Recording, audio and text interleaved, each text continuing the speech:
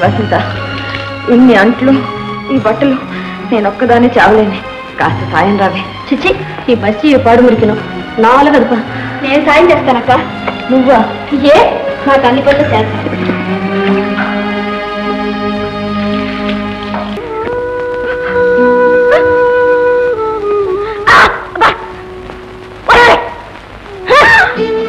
పెరిగావు. పిల్లలు అమతగా ఉండలేవు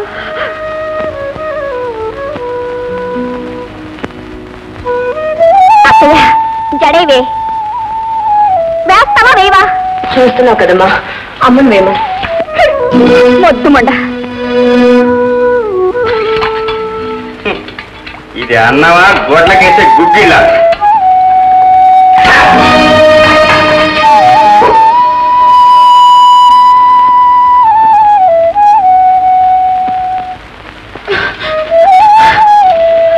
నీకు ఏళ్ళు వచ్చాయి కానీ బుద్ధి రాలేదు.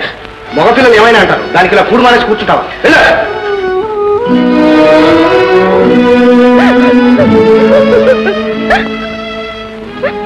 పుట్టినప్పుడు మొదట ఆడ సంతానాన్ని ముద్దు చేశారు.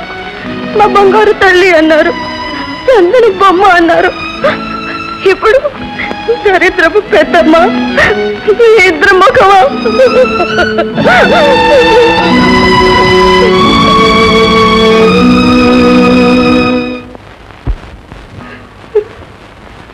అయింది ఏదో అయిపోయింది. భారత పెళ్ళి విషయమైనా ఆలోచించండి. నాకు అసిస్టెంట్గా ఉండేవాడే సూర్యప్రకాశరావు తెలుసుగా అతనికి ఈ మధ్యనే భార్య పోయింది పాపం. పిల్లలు లేరు. వయసు పెద్దదేమో? ముప్పై ఏళ్ళు ఉంటాయి మన భారతికి కూడా పాతికి పైనే ఉంటాయిగా అయితే ఆ సంబంధమే చూడండి.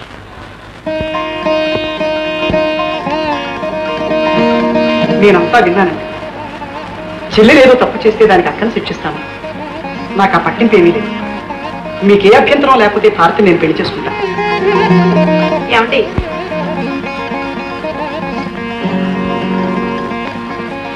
వసంత సంగతి తెలుసు కూడా ఈ పెళ్ళి ఒప్పుకుంటున్నాడు పైగా కట్నం కూడా వద్దంటున్నాడు. అంటే ఈ అబ్బాయికి ఏదో లోటు ఉంటుంది.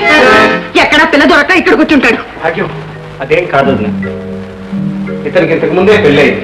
దురదృష్టవశాత్తు మొన్న ఈ మధ్యనే భార్య పోయింది పాపం. సంగతి నాయన? నా కూతుర్ని రెండో పెళ్ళి వాడికి ఇచ్చి చేద్దామని వచ్చావా? నాకెంత మంది పిల్లలున్నా ఇంకెంతమంది కన్నా నా కూతురు నాకేం బరువు కాదు. మీరెవరైనా మూయక్కర్లేదు వదినా నీకు పుణ్యం ఉంటుంది. నా మాట విను.